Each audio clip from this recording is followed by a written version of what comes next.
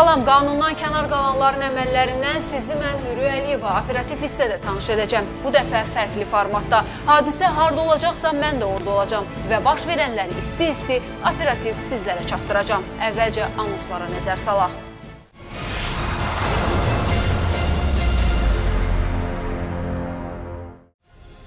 Yük maşını açdı. Gənc oğlan maşının altında qalaraq dünyasını dəyişdi.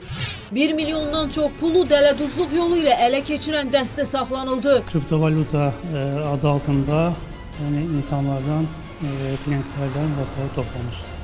Oteldə sevgilisini qətlə yetirən qıza hökm oxundu. O 15 il 8 ay azadlıqdan məhrum edildi.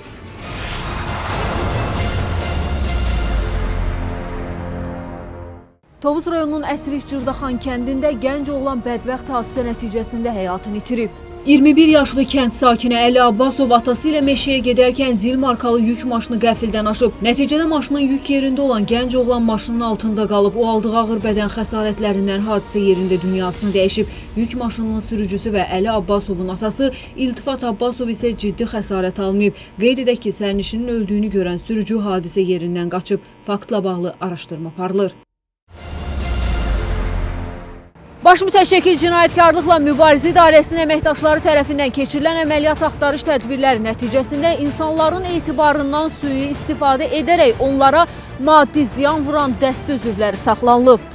Baş İdarənin Azərbaycan Respublikasının Maliyyə Bazarlarına Nəzarət Palatasının əməkdaşlarının iştirakı ilə keçirdikləri əməliyyat tədbirləri nəticəsində bir qrup şəxsin investisiya şirkəti adı altında şəbəkə biznesi yaradaraq çoxsaylı vətəndaşları aldatmaları müəyyən edilib. Araşdırma zamanı müəyyən olunub ki, Bakı şəhər sakini Kənan Mustafazadə, Qırğızistan Respublikasında anadan olan Rəfail Taşdəmirov, Lənkəran rayon sakini Xəyal Yaxyayev, Gəncə şəhər sakini Müslüm İsmailov, Qəbələ rayon sakini Araz Qasımov və qeyri şəhərləri 2018-ci ilin iyun ayında internet şəbəkəsində xüsusi lokal proqram yaradaraq dövlət qeydiyyatına alınmayan və dövlət reyestrinə daxil edilməyən investisiya şirkəti adı altında özləri tərəfindən uydurulmuş şəbəkə biznesi yaradıblar.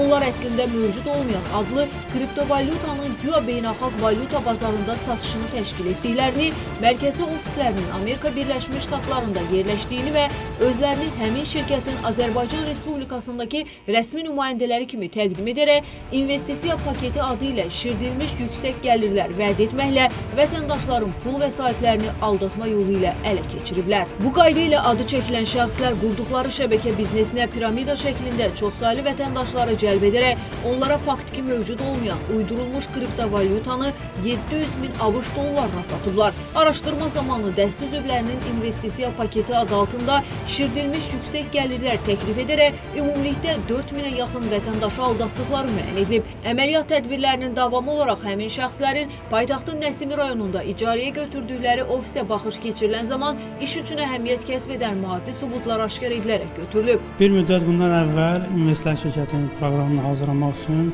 e, maddi vəsait ehtiyac olub e, və bunun üçün də dostum Rafaeldən e, maddi dəstək almışam. Kriptovalyuta e, adı altında yəni insanlardan, e, klientlərdən vəsait toplamışam. Faktla bağlı Baş İdarənin İstintaq şöbəsində Azərbaycan Respublikası Cinayət Məcəlləsinin 178.3.1 dələduzluq mütəşəkkil dəstə tərəfindən törədildikdə maddəsi ilə cinayət işi başlanılıb. Mütəşəkkil dəstənin 500 barədə həbs qəti imkan tədbiri seçilib. İstintaq əməliyyat tədbirləri davam etdirilir. Biz hazırda hadisə baş verən otelin qarşısındayıq. Günel Əliyeva elə sevgilisi ilə bu otelə gəlir. Aralarındakı anlaşılmazlıq isə qətillə nəticələnir. Günel Əliyeva ilkin ifadəsi zamanı sevdiyi oğlanın ona təcavüz edərək bakirəliyini pozduğunu və bu səbəbdən ona evlənmək vəd etdiyini bildirib. Qadının sözlərinə görə həmin hadisədən sonra onların arasında yaxınlıq davam edib və sonuncu görüşlərində oğlanın vədinə xilaf çıxdığını görən qız onu öldürmək qərarına gəlib.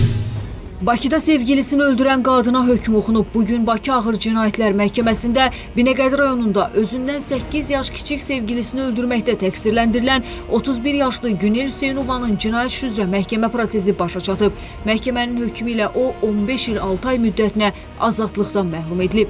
Qeyd edək ki, qətl hadisəsi ötən il iyunun 25-də Binəqədi rayonu Əcəmin Naxçıvani küçəsində yerləşən oteldə baş verib. Həmin ərazidə Sabunçu rayon sakini Günel Hüseynova sevgilisi 23 yaşlı yaşlı Vüqar Atakişiyev ilə otelin ikinci mərtəbəsindəki otağı kirayə eləyib. Oteldə gecələyən zaman tərəflər arasında mübahisə düşüb. Bu zaman Günel Hüseynova Vüqar Atakişiyevi qətlə yetirib.